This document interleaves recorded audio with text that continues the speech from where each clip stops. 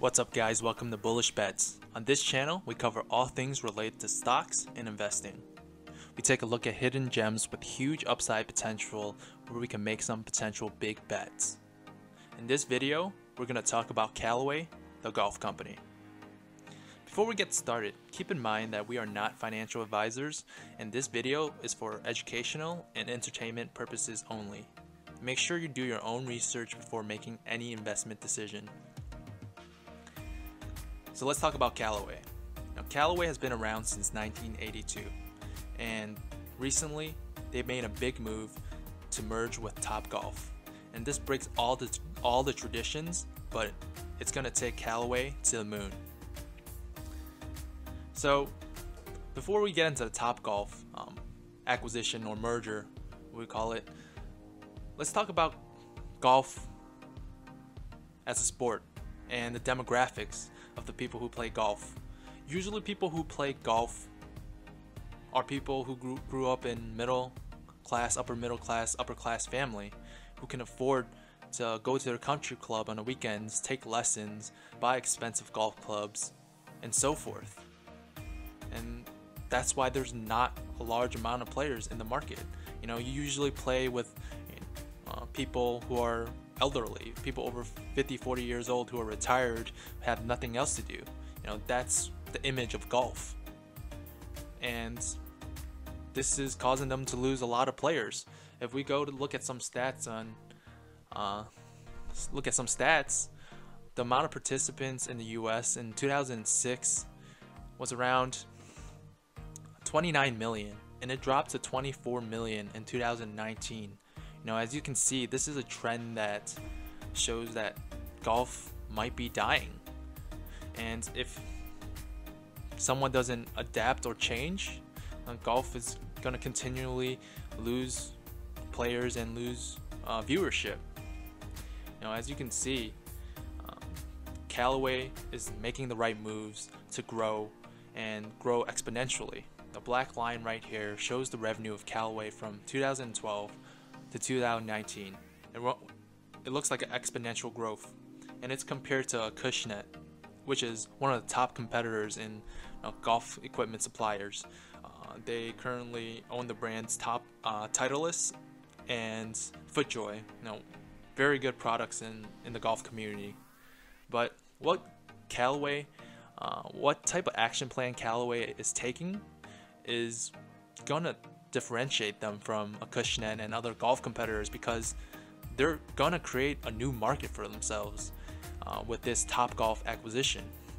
So, uh, before the acquisition of Topgolf, Topgolf planned on going public in 2020, but unfortunately, COVID hit and they changed their plans.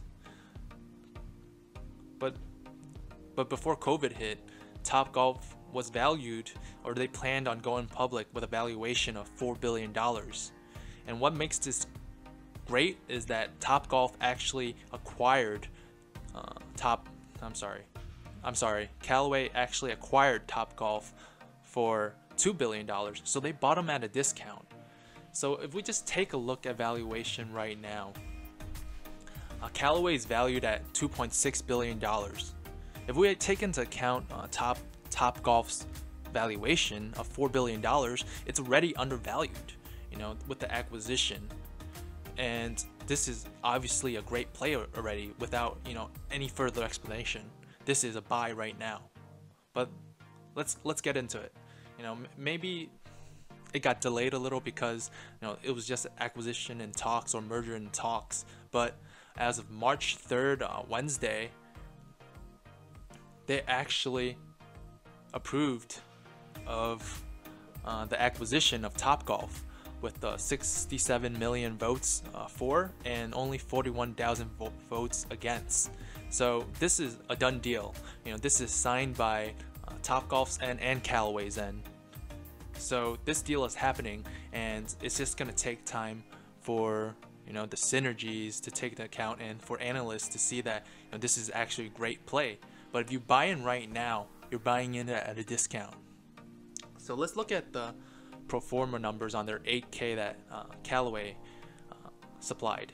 So the pro, pro forma uh, revenue for 2020 is around uh, 2.2 million with them two combined, and it grows exponentially to 2.7, uh, 3.2, uh, 3.6, and I, I believe this pro forma revenue accounts for the growth plans that Topgolf plans to have in terms of you know growing having 60 locations in the US and you know expanding to places like Dubai um, places in like Japan Korea and so forth. And this is based on that pro forma.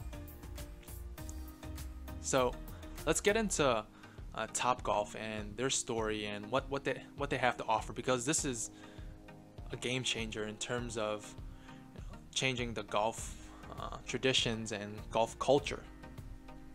So I'm gonna jump into pa- uh, different pages just to show you, you know, what I'm talking about. I'm gonna link this in the description below, and you can look from there.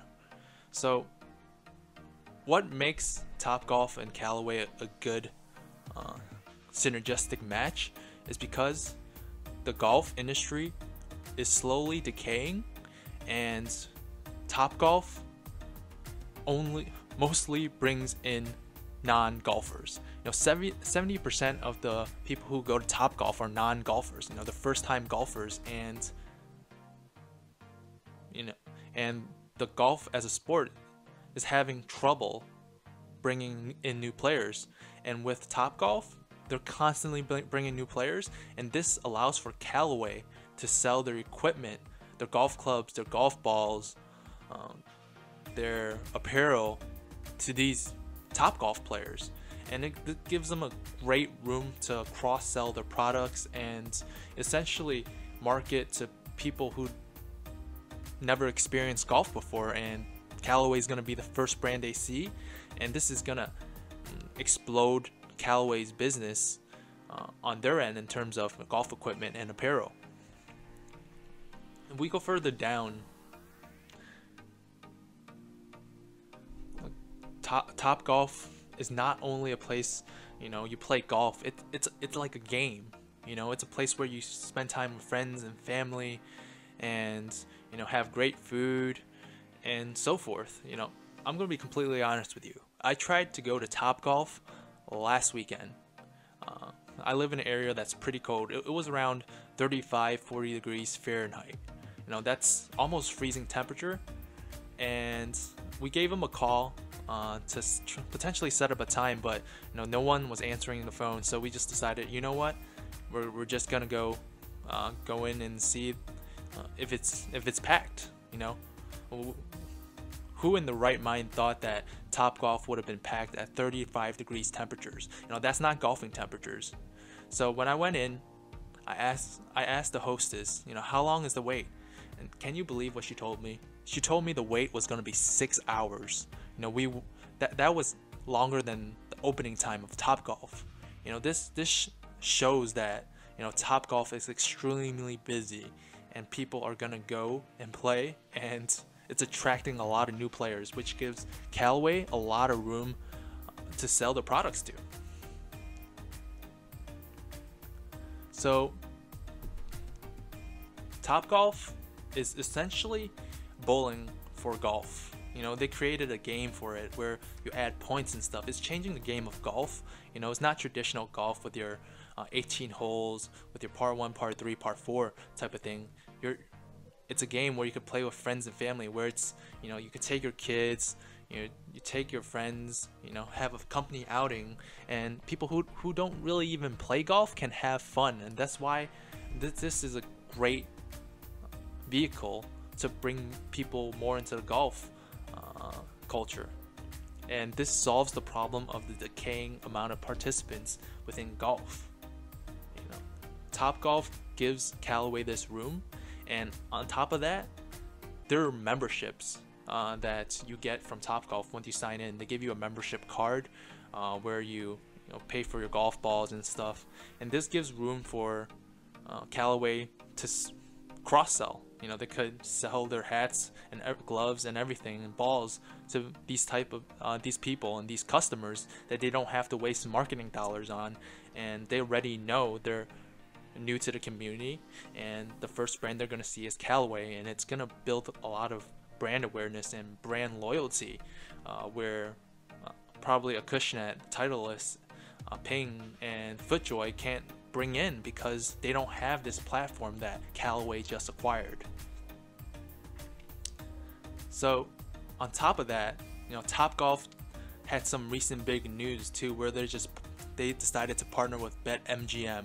So not only is Topgolf uh, a place to eat, play, uh, play uh, a game of golf style uh, bowling, golf style bowling, they're allowed to spend a lot of time gambling now. You know, it's just a whole new market where you can make a lot of money. You know, that's the best combination. Drunk people, drunk adults gambling, and essentially playing bowling together. You know, it's gonna be a new culture, a new market that Callaway has uh, the resources to to get into. And let's go back to the valuation of Cal- uh, Callaway. You know, it's currently valued at 2.6 billion dollars right now, and uh, 2.6 billion dollars market cap and the enterprise value of 3.1. You know, uh, even before the merger uh, announcement of t- of Top Golf, Callaway's was around twenty dollars. You know, if you think the acquisition of Cal uh, of Top Golf only increased the price of Callaway by eight dollars, uh, it's not a good bet for you. But in our eyes, you know, Top Golf was gonna go public for four billion dollars. Callaway, with the acquisition now, should be worth at least four billion dollars, and that this leaves them to a pri- price point of at least third forty dollars. So, if the analyst decides to, you know, price in the Topgolf acquisition, which is already approved on both sides, Callaway's gonna shoot up. So, let us, let us know what you think. Do you think the Topgolf acquisition really doesn't make that much difference in the Callaway's fun- fundamental business value? Or do you think that Callaway is going to go to the moon because they they're positioned to dominate the golf industry and create a new market for themselves? So that's that's all for this video. Uh, thank you for taking the time to listen to us. Um, if you liked our content, you know, please subscribe and give us a thumbs up. You know, we really appreciate it as it helps with the YouTube algorithm. You know, thank you guys so much for watching and stay tuned for the next one.